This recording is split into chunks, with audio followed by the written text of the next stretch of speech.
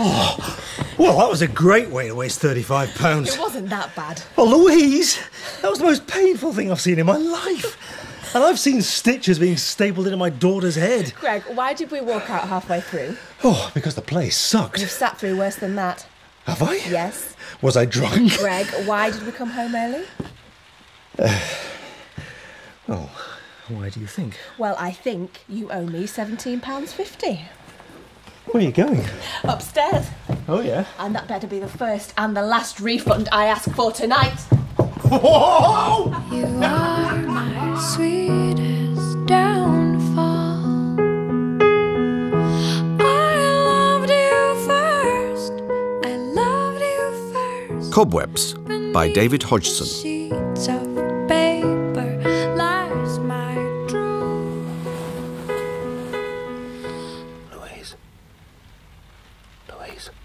Hmm? I think there's someone in the house. What? There's someone in the house. Where are you going? Greg, where are you going? Be careful.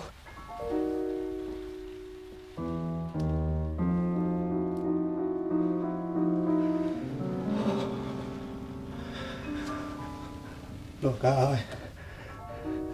I can see you behind the curtain, you know.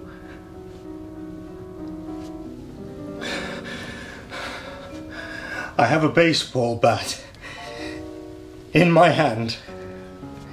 And if you're not out in three seconds, I'm to come over there and I'm to use it. Okay?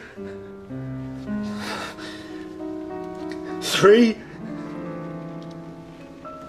two. What? There's someone under the bed!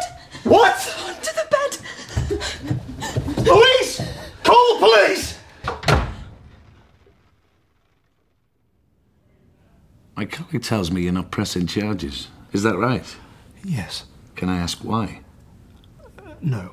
Okay, then. It's complicated. Mr. Drake, we've just pulled a man out from underneath your bed. I know you have. I was there. And so was your wife. And what would she say if she knew you were releasing the intruder without pressing charges? Well, she'd say, Wow, Greg, you never told me we were married. She's not your wife. I don't have a wife. So what's that in your wedding finger?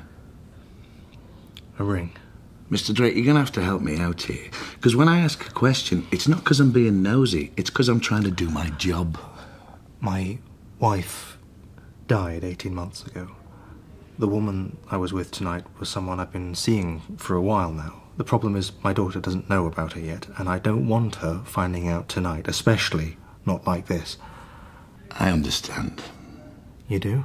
Yeah, but before you go, Mr. Drake, is there anything else about tonight you want to tell me? I just want to go home. Good night, Mr. Drake.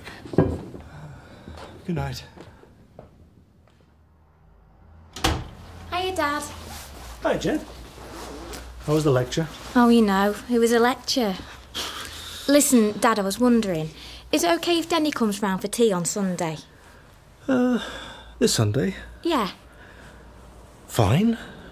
Look, Dad, I don't mind you not liking my boyfriend. I don't not like him. Yeah, you do. Every time I say his name, you pull a face. Like what? Like, like I've just made you a sandwich with salad in it. That's not because I don't like him. What is it then? It's because he's got a weird name. What's wrong with Denny? There's nothing wrong with Denny. What's wrong is that someone called Denny would go out with someone called Jenny. You can't choose who you fall in love with, Dad. You're not in love. How do you know? Because I know that. Dad? Hang on a minute.